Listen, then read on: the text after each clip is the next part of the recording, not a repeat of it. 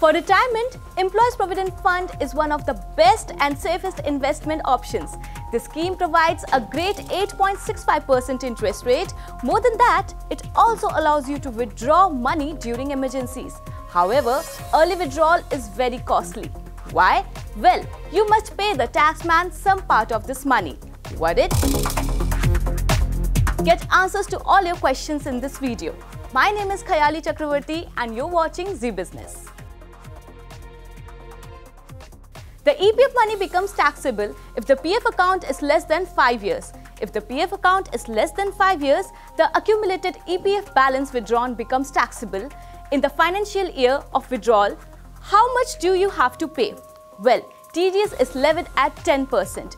If the amount is more than 50,000 and period of service is less than 5 years, the subscriber can submit Form 15G, 15H to avoid TDS in cases where the income for that year is below the taxable limit. But let's know what is Form 15G and Form 15H.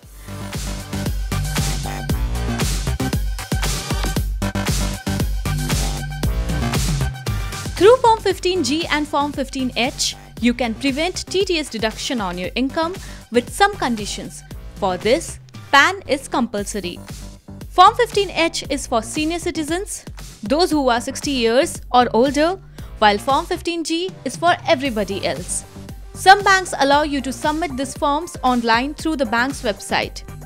Here are the conditions you must fulfill to submit Form 15G. If you are an individual or HUF or trust or any other SEC but not a company or a firm, only resident Indians can apply. Applicant should be less than 60 years old Tax calculated on your total income is nil. The total interest income for the year should be less than the basic exemption limit of that year, which is rupees 2.5 lakh for financial year 2019 to 20.